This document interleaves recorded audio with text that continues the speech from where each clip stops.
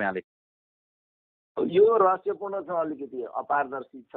तर अब यो प्रचण्ड र केपी ओलीको मिलीभगतबाटै आएको भन्ने कुरा चाहिँ हिजो सचिवालयको बैठकबाट प्रष्टै छ।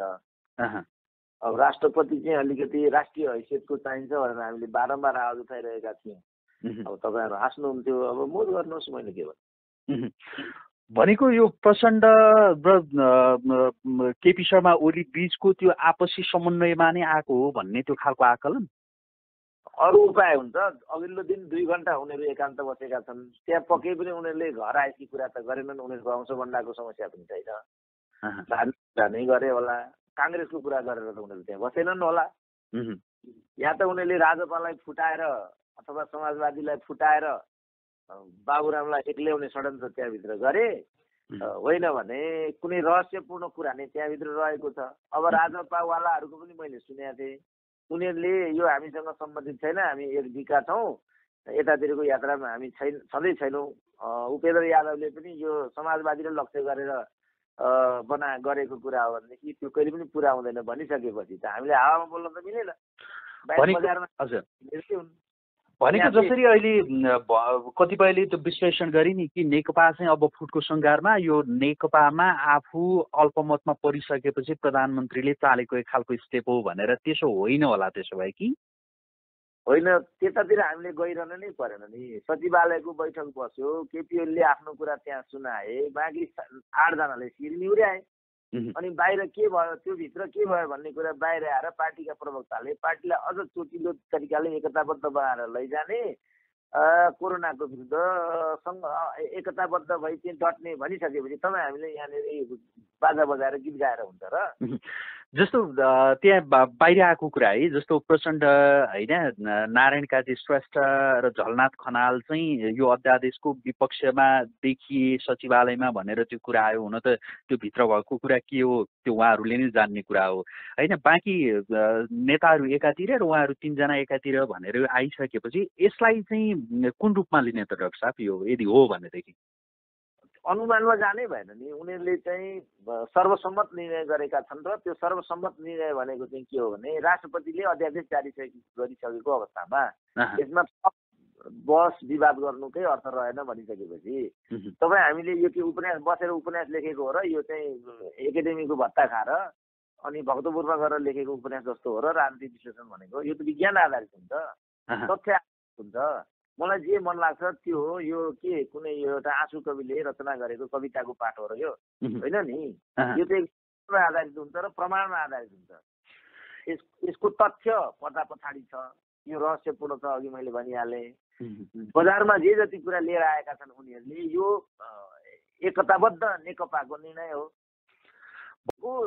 जनमानसमा तथ्य आउन नदिने त्यसलाई प्रायोगिक ढङ्गले एउटा समूहमा चाहिँ सूचना प्रवाहित गरेर राजनीति आफ्नो हातमा लिने प्रवृत्ति यहाँ हाबी भनेर त्यसको प्राविधिक व्याख्या सहजै गर्न सकिन्छ। जहाँसम्म यसको विषयको भित्री पक्षमा जाँदाखेरिको कुरा छ अब मनोगत रूपमा चाहिँ केपी ओली आत्तिएर यो फोर्टी पर्सेन्टको विषय बाहिर ल्याएको र राष्ट्रपति आफ्नो फोल्डको भएको हुनाले त्यो संस्थालाई दुरुपयोग गरेको चौबिसै घन्टाभित्र त्यो कागजै नपढिकन सदर गरेको भन्ने कुरा बाहिर देखिँदाखेरि कुनै न कुनै किसिमको केपी ओलीको एउटा मनोगत स्वार्थले यसमा काम गरेको भन्ने कुरा प्रष्टै देखिन्छ। तर मेरो पोजिसन चाहिँ के हो भने यो भइरहँदा प्रचण्ड किन त्यहाँ चाहिँ मौन छन् मलाई यसको मात्रै उत्तर चाहियो।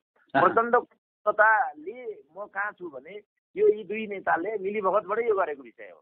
अब किन उनीहरूले यो गरे? अब एनसिसीको लागि गरे अब यी अन्य बाबुरामलाई सिद्ध्याउनको लागि गरे किनभने सबैभन्दा यसको चाहिँ तीव्र प्रतिक्रिया बाबुरामको तर्फबाट आएको छ र यो लोकतन्त्रको विरुद्ध लक्षित छ भनेर अब यिनीहरूको लोकतन्त्र पनि हामीले नदेखेको होइन यिनको स्वास्नी छोरी बुहारीलाई मन्त्री बनाउनेलाई नि लोकतन्त्र भनेका छन्। हामीले यो लोकतन्त्र होइन भने कतिले त के पनि भनेका छन् भने यो केपिओलीलाई पनि थाहा छैन कि यो कसरी आएको छ भनेर। त्यसकै साँझ चाहिँ यो सैनिक मुख्यालयमा चाँटै सुरक्षा संयन्त्रहरूको बैठक बसेको भन्ने पनि छ। त्यसले गर्दा स्थितिको भयावहता र अन्य मनस्कतालाई त बाहिर ल्याउँछ। तर अब त्यो त अनुमानमा त हामीले भन्ने कुरा भएन जस्तो अर्को अर्को जुन एउटा अध्यादेश यो भयो होइन डाक्टर साहब जस्तो एउटा अध्यादेशका विषयमा हामीले कुरा गऱ्यौँ अर्को अध्यादेश हेर्ने हो भनेदेखि जुन यो संवैधानिक परिषद सम्बन्धित छ त्यो चाहिँ किन आयो होला फेरि? त्यसका पछाडि के होला? त्यो त प्रश्न छ। जहिले पनि त्यहाँ पूर्ण बहुमतबाट त्यो गरिनुपर्छ भन्ने छ। अब यिनीहरूका संवैधानिक निकाय भनेका यिनका साली ज्वाइँ स्वास्नी लगेर भर्ने ठाउँ हो यो। हामी देखिरहेछौँ नि त्यो संवैधानिक निकायमा को को मान्छे जान्छ त्यसले के के गर्छ भन्ने कुरा हामी देखिरहेछौँ अख्तियारकै चाहिँ के भने राजनारायण पाठक भन्ने भ्रष्टाचारको हब बनाएर त्यहाँ प्रशासन गर्दा रहेछन् अब अहिले अख्तियारका प्रमुख के जाति बस्नेत भने दिप बस्नेत भन्ने चाहिँ बालवाटार काण्डमा परेर उनी अख्तियारको निगरानीमा रहेको सबैलाई थाहै छ। त यस्तो गर्दा पनि यिनीहरूलाई पुगेन भनेपछि त एक मतले निर्णय गर्नुपर्ने र आफ्नो अनुकूल त्यो संवैधानिक संयन्त्रले काम गर्नुपर्ने भन्ने दुराशयबाट किन यिनीहरूले अदालत पनि त्यस्तै गरिसकेको छ? न्यायालयमा त्यस्तै खालका मानिसहरू केन्द्रीय निकायमा लगेर उनीहरू न्यायाधीश बनाएर राखिसकेको स्थिति छ।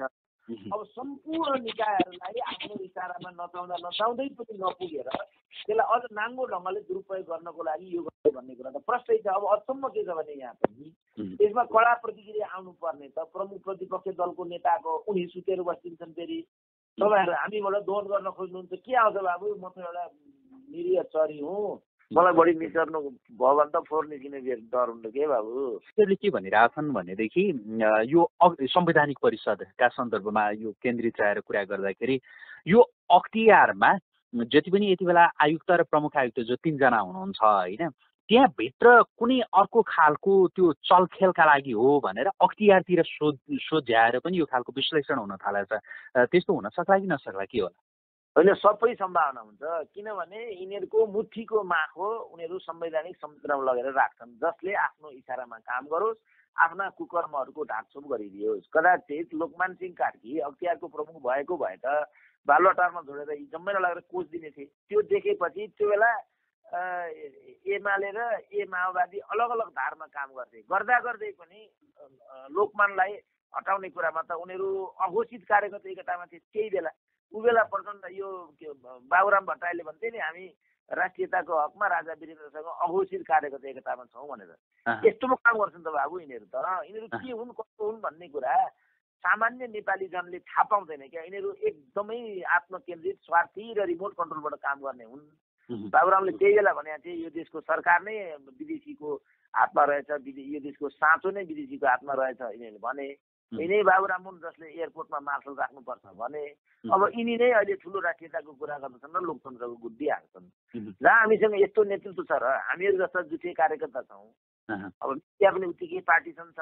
पुरै चाहिँ पुरै जनमानस राजनीतिक रूपमा ध्रुवीकृत देखियो क्या नेपाल हामीले बिगार्यौँ के भने अब पुलिसलाई सक्यौँ प्रशासनलाई सक्यौँ संवैधानिक निकायहरूलाई हामीले सक्यौँ होइन? आफ्ना चाहिँ जुठे कार्यकर्ता भरेर ती जम्मै सिद्ध्यायो नि त हामीले। अब हामी रात दिन सेना सेना भन्छौँ। यो सेनालाई राजनीतिमा ल्याउने षड्यन्त्र हो र सेनालाई बदनाम गर्ने चाहिँ षड्यन्त्र हो भनेर मलाई लाग्छ। सेनालाई अलग बस्न दिउँ। सेना भनेको कुनै पनि राष्ट्रको गहना हुन्छ। उसले अलग बसेर सङ्कट पर्छ जस्तो अहिले नै पनि कोरोनामा अस्पतालहरू बन्द छन्। अब ढोकै बन्द छ बिरामीलाई आउन दिँदैनौँ भन्छन् उनीहरू निजी क्षेत्रका अस्पतालहरू। ती सबै नेताहरूको चाहिँ संरक्षणमा चलेका अस्पतालहरू हुन् पैसा कमाउनको लागि। अब अहिले जनता सङ्कटमा परेकोले ती ढोकाहरू बन्द छन्। मानिलिउँ चाहिँ कोरोनाले हामीलाई व्याप्त बनायो भने त हाम्रो शक्ति भनेको त सेना मात्रै हो नि त। हो नि त। अहिले जो सङ्कट परिरहेको छ मैदानमा को छ भने त्यही प्रहरी छ नि त बिचरा। प्रहरी हाम्रो लागि चाहिँ मैदानमा निस्किएको छ। हामी प्रहरीलाई नै बदनाम गरेर ढुङ्गा हान्न लागिरहेका छौँ। अन्त त एक दुई थप्पड त ठिक नगर्ने हो भनेदेखि त हिजोको प्रहरीको डन्डा र आजको प्रहरीको डन्डामा त फरक छ नि त। तर प्रहरीलाई यस्तो राजनीतिकरण यिनीहरूले गरेका छन् कि यिनै राजनीतिको इसारामा तिनै प्रहरीका माथिल्ला हाकिमहरू यी बिचरा न्यून वैधानिक कर्मचारीहरूको तलब काट्नेदेखि लिएर किन डन्डा हलाइ हालिस् भनेर चाहिँ अनुशासनको कारवाही गर्नेतिर छन् त्यसो भने त प्रहरीको मनोबल पनि समाप्त हुने भयो। यो अध्यादेश अध्यादेश डाक्टर साहबलाई मैले रोकेँ। यो अध्यादेशपछि अरू दुईवटा विषय पनि त्यो सतहमा आइरहेछन् भनेको मान्छेहरूको आकलन अनुमान त्यो छ होइन? यति बेला भनेको त्यो अनुमान नै धेरैले गर्ने विषय नै हो यहाँले अघि नै भने जस्तो अब केही घन्टापछि या केही दिनपछि यसको रिजल्ट निस्किएला। जस्तो यति बेला कतिपयले यो संसद भङ्ग गर्न सक्ने त्यो सम्भावना छ भनेर भनिरहेछन् र मध्यावधिमा जान सक्छ देश भनेर भनिरहेछन्। त्यतातर्फ नेकपा अगाडि बढेको हो त त्यसो भए? प्रधानमन्त्री त्यसरी अगाडि बढ्नु भयो होला। अब यो रिफरेन्स बेलामा रिफरेन्स बिना नबोल्नु राम्रो हुन्छ बाबु। मैले त धेरै पहिला के भनिसकेको छु भने केपी ओलीले प्रधानमन्त्री पद छोड्नु पर्यो भने मध्यावधि हानिदिन्छन्। प्रचण्ड प्रधानमन्त्री हुन पाएनन् भने पार्टी फुटाउँछन् तपाईँहरू प्रश्न रिफरेन्समै राख्नुहुन्न। अब यसरी कसरी हुन्छ बाबु? मैले त यो त दुई वर्ष अगाडि भनेको छ। यो एकतै रहस्यपूर्ण छ। यो स्वार्थ आधारित छ पद आधारित छ। पद नपाउने बित्तिकै कालमा यिनीहरूले पहिलो संविधान सभालाई टुयाएपछि दोस्रो संविधान सभा चलाउनको लागि यिनीहरूले चाहिँ गैर राजनीतिक र गैर दलीय संयन्त्रलाई ल्याएर त्यो काम सम्पादन गरे। यिनीहरूले आफू चाहिँ जे गर्दा पनि हुने। अनि कुनै अर्कोले चाहिँ केही पनि गर्नु नहुने भन्ने जो यिनीहरूको मनोविज्ञान छ यसले परिणाम कहाँ पुर्याउँछ त्यो म भन्न सक्दिनँ। जहाँसम्म जनमानसको कुरा छ। तपाईँलाई म एउटा दृष्टान्त दिएर भन्छु। तपाईँले हेक्का राख्नु भएको भए यो रवि लामी छानेवाला द लिडर भन्ने प्रोग्रामको जजमा जनमानसले सोसियल मिडिया प्रयोग गर्दाकर्ताले अत्यधिक रूपमा कसको नाम लिएको छ तपाईँलाई थाहा छ? तपाईँको पनि ल्याएको थियो। पनि कि मेरो मात्रै भन्नु न पनि होइन। भनेको भनेको अरू पनि आएको थियो तपाईँको पनि आएको थियो जोडतोडका साथ भनेको। मेरो ninety eight percent ninety eight percent. पनि हो। एब्सोल्युटली त्यस कारण मैले भन्न खोजेको कुरा के भने यो देशका मानिसहरू चाहे त्यो एनआरएनए हुन् चाहे विदेशमा गएर बसेका हुन् चाहे अमेरिकाबाट पढेर आएका हुन् कसैमा पनि सिभिक सेन्स र एउटा डेमोक्रेटिक कमिटमेन्ट देखिँदैन। उनीहरू आत्मगत देखिन्छन् स्वार्थी देखिन्छन् र चाहिँ विज्ञतालाई मान्दैनन् उनीहरू र जनमानस र जनमतलाई पनि उनीहरू मान्दैनन्। यो नेपालको चाहिँ मनोविज्ञान यो छ। त्यस कारण जनमानसको कुरा छोडिदिउँ सोसियल मिडियामा आएका प्रतिक्रियालाई पनि छोडिदिउँ। के घटित र व्यवहारमा देखिएको छ हामी त्यसलाई मात्रै हेरौँ। त्यसलाई हेर्दाखेरि अहिले जो यो अध्यादेशको प्रकरणमा जे कुरा भइराखेको छ पूर्ण त यो नेकपा सचिवालयको निर्देशन प्रचण्ड र चाहिँ केपी ओलीको मिलीभगतमा भएको कुरा हो। हामी यसमा उत्तेजक नहौँ आवादारी प्रस्तुति अगाडि नबढाउँ। हेरौँ र चौबिस घन्टापछि यसको तथ्यातथ्य बाहिर आइहाल्यो। भनेपछि भनेपछि भनेपछि डाक्टर साहब जस्तो सेनाले कुनै खालको स्टेप चाल्ने त्यो सम्भावना छँदै छैन होइन? यसमा? कहाँबाट हुन्छ? नेपाली सेना राजनीतिक नै होइन यो प्रोफेसनल सेना हो। जागिर खान्छ बस्छ अनि यस्तो सेनाले राजनीतिक कदम चाल्छ भन्ने कुरा कसले पत्याउँछ भने? तर चा भनौँ न एक हिसाबले भन्ने हो भनेदेखि कतिपयको चाहना चाहिँ चालेको भए हुन्थ्यो यति बेला सेना चाहिँ आउनुपर्छ किनकि यस्तो बेलामा यो राजनीतिक विषयहरू यिनीहरूले जसरी उछाले नलिनुपर्ने निर्णय मन्त्री परिषदले जसरी लियो यो ठिक भएन र अब सेना अगाडि आउनुपर्छ भनेर भनिरहेछन्। त्यो आउँदाखेरि चाहिँ परिस्थिति के होला? आउने नआउने एउटा ठाउँमा छ। आउँदा ठिक हुन्छ या नआउँदाखेरि ठिक हुन्छ? त्यो हाइपोथेटिकल कुरा एक अब म लोकतन्त्र विश्वास गर्ने मान्छे भएको हुनाले सेना आउँदा ठिक हुन्छ कसरी भन्नुला? मलाई पनि मानिसहरूले फोन गरेका थिए यो लाइफमा बोलिदिनु पर्यो। अहिले जो त्यहाँभित्रको कट्टरपन्थी धार छ र सैनिक धारसँग मिलेर तपाईँले भन्नुभयो यस्तोतिर राज्य लैजानु पर्यो बोलिदिनु पर्यो डाक्टर साहब भनेर मलाई पनि आठ दसवटा फोनहरू आइसक्यो। डेमोक्रेसीमा आस्था गर्ने मान्छे हुँ। वामपन्थी पृष्ठभूमिबाट आएको छु। सैनिकबाट भन्नु पर्यो कुनै पनि देशको हो। राजनीति चल्छ भन्ने कुरा म कसरी मान्छु बाबु? त्यस्तो हुन्छ भने। हुनै सक्छ। यति बेला यति बेला छ नि डाक्टर साहब जस्तो पूर्व राजा ज्ञानेन्द्र शाह पनि केही समय त अलि सक्रिय भए जस्तो देखिएको छ र त्यो शक्ति चाहिँ कुनै न कुनै ढङ्गले अगाडि आउन सक्ने त्यो सम्भावना रहला कि नरहला? त्यो कोणबाट पनि मलाई फोन आएको थियो। एकदम सरकारले गम्भीर तयारी गरी बस्दैछ निश्चिन्त भएर बसे हुन्छ भन्दै थिए मलाई त्यो सुन्दा हजुर छ के? अब राजाले त्यसो गर्छन् र गर्न थालेका छन् भन्न थालेको कति वर्ष भयो अहिले भन्नु त? सम्भावना छैन कुनै सम्भावनाहरू छैनन्। नेपाली जनताले दुःख पाउनु परेको छ। अब कोरोनाले संयोगवश हामीलाई बचाइदियो। होइन भने आधी त हामी अहिले नै सक्छौँ। इटाली हाम्रो अगाडि छ। अमेरिकालाई नै तोबा तोबा बनाइरहेको छ। तर के भएर हाम्रो भाग्य ठुलो रहेछ? यसले चाहिँ हामीलाई त्यस्तो साङ्घातिक हमला गर्न सकेको अवस्था भएन। तर केही मौका पारेर यो देशको नेतृत्वले राजनीतिलाई यसरी दुरुपयोग गर्नेतर्फ उद्ध देखिन्छ। अब हामी मरिरहेको बेला ऊ अध्यादेशको कुरा गर्छ। हामी प्रभावग्रस्त भएको बेला ऊ मस्ती मारेर हिँड्छ। उनीहरू घोटाला गर्छन्। उनीहरू लडाइँ गर्छन्। म सिधै हिजैदेखि भन्थेँ दुई तिहाई गणितीय कुरा हो राजनीतिक कुरा होइन। राजनीतिमा गणितले काम गर्दैन। गणित एउटा फ्याक्टर हुन्छ। तर राजनीति चाहिँ राजनीतिक रूपले मात्रै अगाडि जान्छ यसमा चेतना चाहिन्छ जागरुकता चाहिन्छ जवाबदेता चाहिन्छ म भन्थेँ। अब तपाईँहरू घुमाएर कहिले राजाको कुरा गर्नुहुन्छ कहिले सेनाको कुरा गर्नुहुन्छ? यो यो जस्तै इरेस